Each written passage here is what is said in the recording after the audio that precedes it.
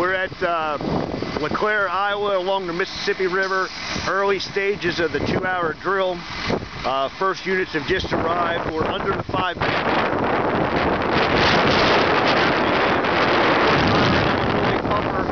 going to serve as the dump site cover. Line right down at the tower, and that's going to water source. Meantime, these folks, uh, the other Port Byron unit is a tender, and they're deploying a dump tank. So we'll join back up with him here in a little bit, but they're getting ready to start that water flow out of the tower. So right now the first alarm assignment has arrived. It's an engine, a tender, a tower, and they have another tender that just arrived.